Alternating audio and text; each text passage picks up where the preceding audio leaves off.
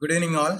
So so far we have seen uh, how to proceed or configure a appliance to a management server. Today's our topic is how to promote our iso file into a firewall gateway. So we have a virtual machine running uh, running on the vm workstation okay in the name of the file name fw1 so it is powered on okay. The console machine is uh, my laptop today. Okay, so i'm going to access https colon slash slash slash. The ip address for the today's management is 192.168.200.100 okay which is the ip address of the firewall one. So 192.168.200.100 so as we seen the last time while configuring the management we are getting a uh, certificate error okay we are proceeding with the same site okay. It is requesting for the username and password okay. Before uh, going to the login okay let me show you one more thing. Actually this box is a cloning of our management uh, server okay. So before i have migrated or configured the server into the management. I have cloned the same box to create a firewall one. Okay so it's a clone of uh, the firewall. So how we can clone means okay we can go to the option vm okay manage okay. From there we can clone the any device okay. Currently we have cloned from the management. Okay. so now let, let me go back to our first time configuration wizard okay we are logging into the box with the admin and credential. So this is processing us to welcome to the Check Point first time configuration wizard okay. So we we are using the platform vmware okay. If you are using any appliance you will see the appliance here whereas we are using the vmware workstation here. Okay click next okay more or less the configuration looks similar until some steps. Okay so click next here the ip address is 192.168.200.100 okay i'm not going to configure in default gateway now. Click next and here i am going to change the host name. The host name i am going to give us gateway1 okay gw1 the file name is fw1 and here the name is gateway1 and i am giving the primary dns server as whatever we have used last time. Okay google dns server 8.8.8.8 click next. Okay so the time synchronization from the physical box of my laptop it's taken the time manually. Okay so click next. Okay so this is the place whether we fixed as a multi-domain server okay? In a single domain server we can manage multiple domains. We are not going to see those topics now okay? We are going to configure a distributed environment. We are promoting as a security gateway. Already we have configured a security management server. Now we are configuring a security gateway. Okay click next here is the option. We are going to modify. Okay if you are disable or uncheck the security management now it's promoting as a gateway. If both are clicked then it is a standalone box.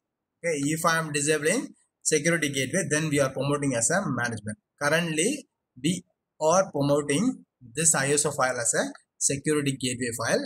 Okay so some steps will be default here. So i am going with security gateway click next. Okay it is asking for the ip address whether it need to be dynamically assigned ip address. Okay no because we are using the ip address 192.168.200.100 to manage this box. Okay click next. So here comes the sic secure internal communication. Okay whereas in the management while we are promoting we doesn't see this sic okay sic stands for secure internal communication it established the trust between a management server and the gateway so in a single management server, we can manage multiple number of gateways. Okay, what I am telling is, uh, for example, I have a MGMT server. From the MGMT server, I can manage multiple firewalls like GW1, GW2, GW3 like that. I can manage multiple gateways. So in order to establish the trust between the management and the gateway, we will use the SIC, Secure Internal Communication. Okay. So here we can assign a passphrase. Okay, I am using the same password whatever we are using so far. Okay. In the future, that means in the next class, I will show you how to establish a trust between a management and SIC. Okay, currently we are configuring the SIC password.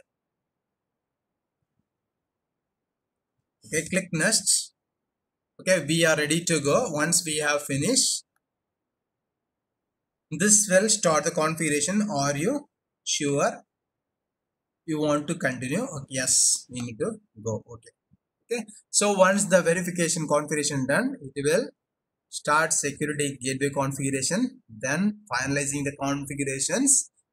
After that, the box will be rebooted for making that ISO file as a firewall gateway. Okay, let us come back once the configuration completed. So here we see our box is completed the configurations. Okay, so you must restart the system. As I told you, the uh, in order to take effect, that device need to be restarted. Okay, I am giving OK. Now the box is rebooting. So we have completed the first time configuration. After rebooting, the device comes up. Let us log in. Okay, admin and the password.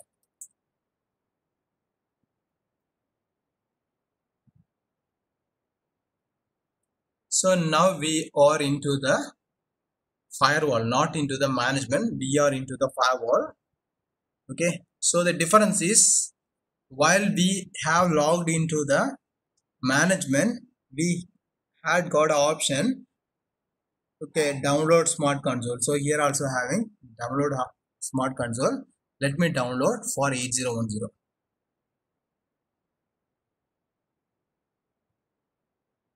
okay so smart console is the application which which allows us to manage a management server and the gateways. Okay so in the meanwhile what I am going to do is I am going to shut down this box. Okay we'll interrupt the download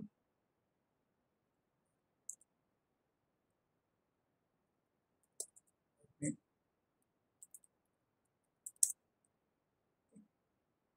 So we have logged into the gateway one that is the firewall one okay and it is completed the first time configuration result.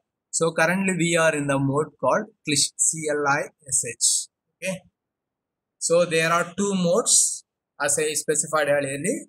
One is CLISH mode, another one is expert mode. Okay. If you want to move toward expert mode, the command is expert, whereas this box is a new box. So we are not it set up the password. So while you are giving the command expert, it will ask you to set the password and it will show you what is the command used to set the password. Okay, so here you can see set expert password is the command. Okay. So set expert password. Okay. Press the enter button. So actually what happening is lock lock database override. In the sense already we have taken the GUI of the box. Same time we are working with the CLI that's what it is giving this error. Okay. In order to control use the command lock database override. Okay. Now we have taken the control from the GUI to the CLI okay. So if you are clicking here you can release the database. Either that's one of option or you can use the command line lock database override okay? So we are going to set expert password. Okay you can use any password. As 123 i'm going to use the same password for the lab entire lab okay? Now if you are giving the command expert it will ask for the password which you have already assigned. Okay so this is the difference between a CLISH and expert mode okay? So the greater than symbol represents you are in the CLISH mode whereas the hash symbol represents you are in expert mode which in the sense you can use some of the linux commands. In order to check the interface we have used the command show interface ethernet value. Here we will use the command called config okay? ifconfig so ifconfig specifying etho 0 and loopback is configured on the box. Okay. And more or less it will help you with all the okay with all the linux commands. Okay. So if i want to grab something okay i am grabbing one of the line from the entire configuration. So here i have grabbed this ethernet. So it is showing you only one line from the entire configurations. Okay so it's a purely a linux based environment.